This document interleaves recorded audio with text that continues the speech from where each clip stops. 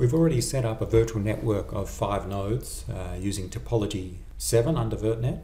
So those five nodes are running in VirtualBox and we have this topology. We have a, a browser on node 1, a web server for MyUni, the real MyUni web server on node 4 and we have a malicious user on node 2 using a browser and they have a web server on node 5.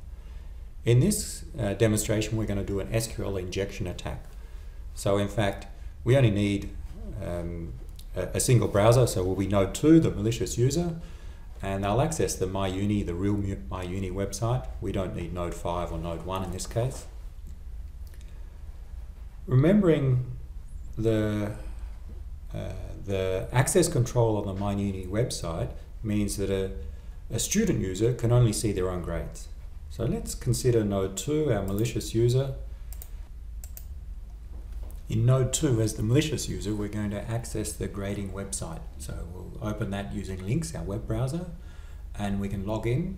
And we're going to assume we're the student user S followed by seven zeros. So we'll type in the username, uh, our password, we'll log in as, as the malicious user.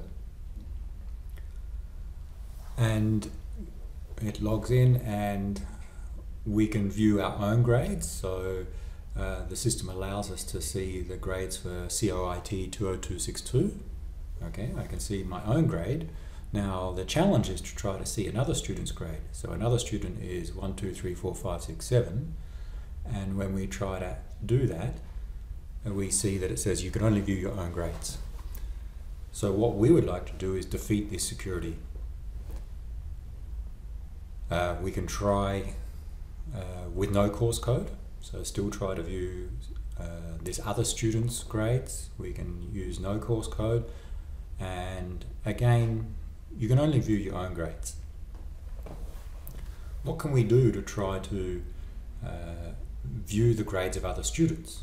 Well, we'll try eventually an SQL injection attack, and to do that, we need some knowledge of how the website or the web application works on the server. So we're going to have a look at the server and the web pages. Uh, we go into the, the directory for the web pages, the grading system. We see that there's some PHP and HTML files that implement the, the grading system, index, login. A query page is the page which uh, we see when we type in our ID and course code. So it's a form, and the form supports two fields, two entry fields, and a submit button.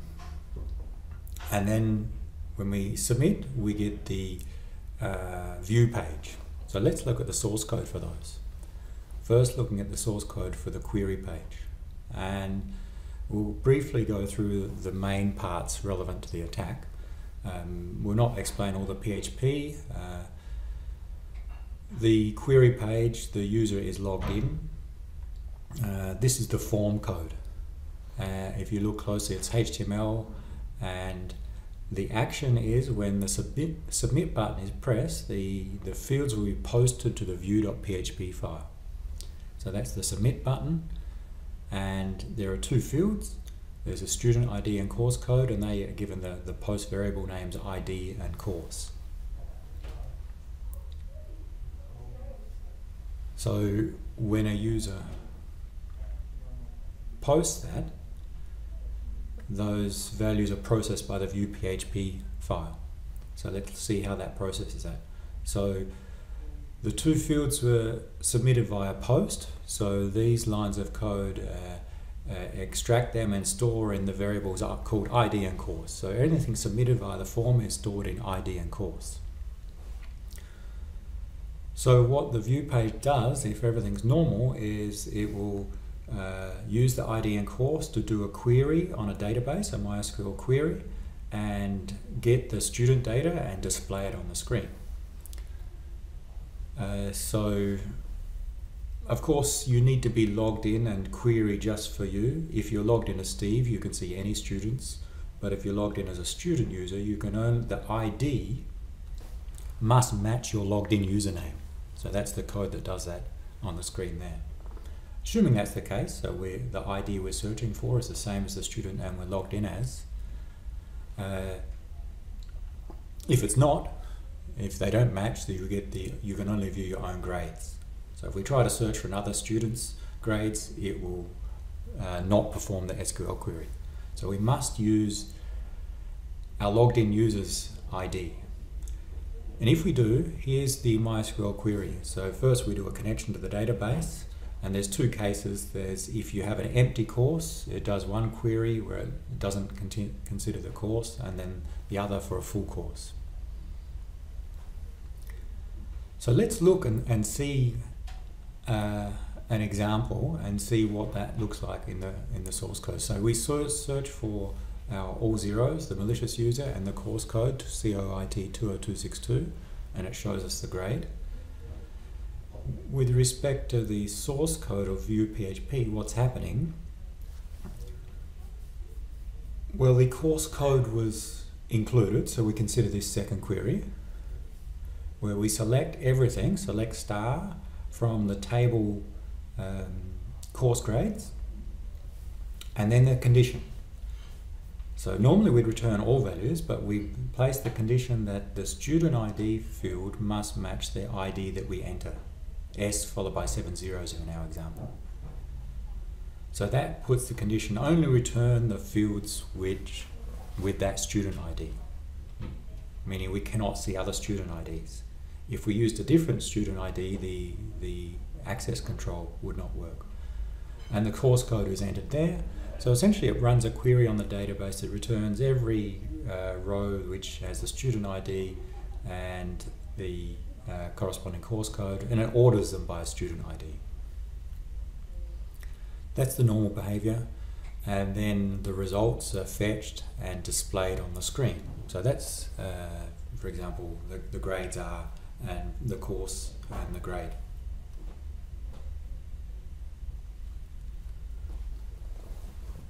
Uh, now, what we want to do as the attacker, we know that we cannot modify the student ID, but so we want to try an attack where we submit, uh, in this case, a different course code and try and create a query such that we can see the, the grades of other students.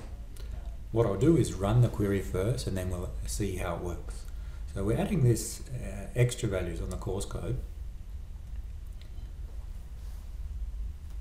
and you see the apostrophe or 1 equals 1. Now we'll explain what that does in a moment, but of course we've got the malicious user student ID, and note what happens here. We see the grades of all students. So here our attack has worked. We not only see our grade, but we see the grades for the other students, S1, 2, 3, 4, 5, 6, 7. So here we've performed an attack and defeated the security mechanisms of the system why did this special course code allow our attack to work? So that's what we'll look at. Looking at, okay, we submitted a course code and the way that the application works is whatever is in the course field, whether it's a course code or some long string like we've used, is replaced in the SQL query. So let's do that replacement.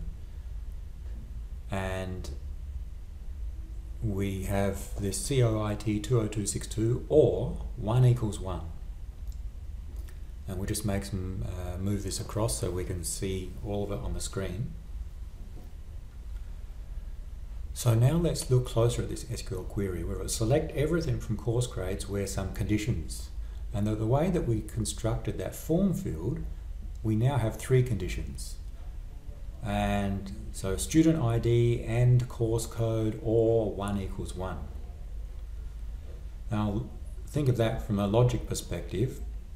We, the ands go together. So we can think we have a, a, a brackets around there. So the condition is student ID equals S zeros and course code equals COIT 20262 or 1 equals 1.